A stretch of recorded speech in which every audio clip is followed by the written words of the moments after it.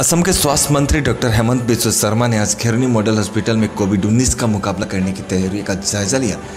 खिरनी model hospital को पश्चिम कार्बलंग ज़िले के तहत कोविड 19 अस्पताल के रूप में सूचीबद्ध किया गया है। आइसोलेशन वार्ड तैयार है और अन्य सभी आवश्यक तैयारियाँ युद्ध स्तर पर है।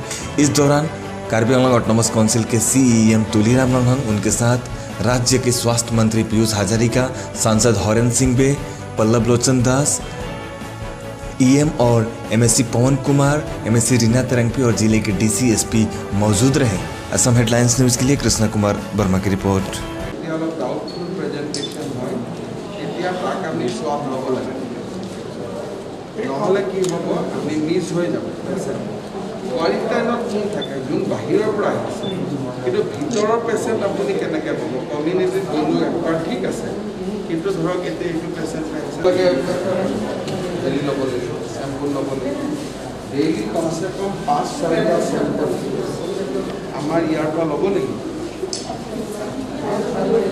কিবা ক্লিনিক এটা বহাই আপুনি যেনে তেনে পাঁচ ছয়টা চেম্পুল ইয়াৰ পৰা লৈ ল'ব। নহ'লে কেছ মিছ হৈ যাব। হেৰি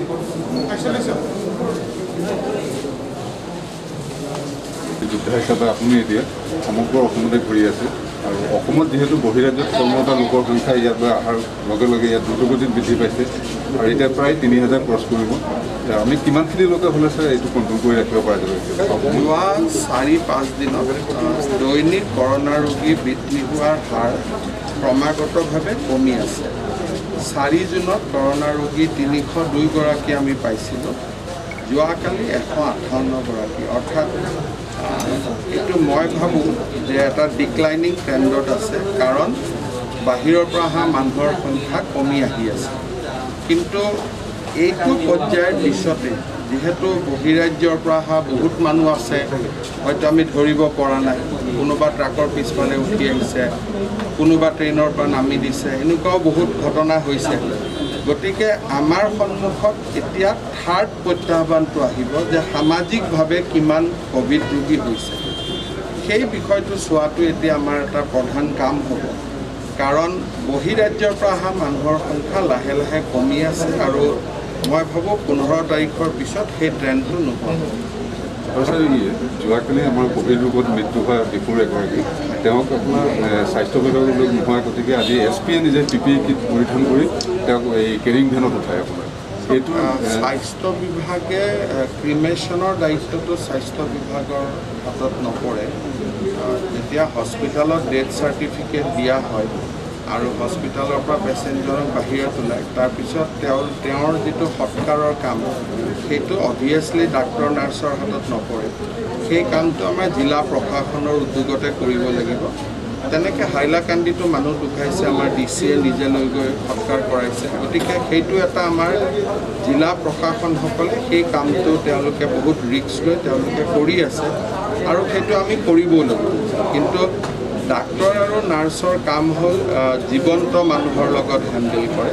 ডেড বডিৰ লগত হেণ্ডেল কৰাটো সামাজিক সংস্থা জিলা প্ৰশাসন মহকুমা প্ৰশাসন তেখেতসকলে এই কামটো কৰিব লাগিব এইটো ক'ৰবাত সজাগতাৰ অভাৱ অনুভৱ কৰে নেকি ছাৰ এনে? এটা থাকে কিন্তু এই ঘটনাটো অলপমান মই ভাবোঁ যে আগৰ পৰাই অলপ মানুহখিনিক সাজু কৰিলে। আমাৰ যিখিনি প্ৰায় পাঁচজন ৰোগী ঢুকালে চাৰিজন ৰোগীৰ ক্ষেত্ৰত এইটো আমি অসুবিধাটো পোৱা নাছিলোঁ। ডিপুত যোৱাকালি এটা অসুবিধা হ'ল। তাৰ কাৰণ এনেকুৱা হ'ব পাৰে যে যিখন আমি কৈ আছিলোঁ যে ডেজিগনেটেড শ্মশান এখন থাকিব লাগে। জিলা প্ৰশাসনে বহুত আগতেই এখন আমি কৈছিলোঁ যে চব জিলাতে এটা ডেজিগনেটেড এখন কবৰস্থান ডেজিগনেটখন ডেজিগনেটেড এখন শ্মশান। আৰু বাকী সম্প্ৰদায়ৰ লোকৰ কাৰণেও ডেজিগনেটেড প্লেচ গাঁৱৰ মানুহৰ লগত কথা পাতি হয়তো তেওঁলোকে অলপ দূৰত দেখুৱাই দিব কিন্তু আগতেই প্ৰস্তুত কৰি থ'ব লাগে যাতে কোনোবা এজন মানুহ মৃত্যুৰ পিছত আমি শ্মশান বিচাৰি ঘূৰি ফুৰিব নালাগে। বহুত জিলাই ইতিমধ্যে এইটো ঠিক কৰি থৈছিল। হয়তো কাৰ্বি আলঙত তেওঁলোকে মনটো নিগেটিভলি ভবা নাছিল কোনোবা ঢুকাব বুলি সেইকাৰণে হয়তো তেওঁলোকে সেই প্ৰস্তুতিটো নকৰাৰ কাৰণে কালি এই খেলি মেলিটো অলপ ছাৰ ইয়াৰ আৰু এটা কথা ক'ভিড নাইণ্টিনৰ হেৰি প্ৰতিৰোধৰ কাৰণে আপোনালোকে চৰকাৰৰ ফালৰ পৰা বিশেষ জাননী বা আহ্বান জনাই আছে। ফলত কিছু এতিয়াও তেনেধৰণে মানিব পৰা নাই বা মানা নাই। তাৰ পৰিপ্ৰেক্ষিতত আপুনি সমগ্ৰ কাৰ্বি আংলঙৰ লগতে অসমবাসীক আপোনাৰ মেছেজটো আমিতো সদায় আহ্বান জনাই আছোঁ কিন্তু বহুত লোকে সামাজিক দূৰত্ব নামানে মাস্ক ব্যৱহাৰ নকৰে। তাৰ ফলত অসমৰ পৰিৱেশ জটিল হোৱাৰ সম্ভাৱনাও থাকে। এই কথাবোৰ চৰকাৰে বাৰে বাৰে কৈ আছে। মই ভাবোঁ যে ৰাইজে কথাবিলাক মানি চলিব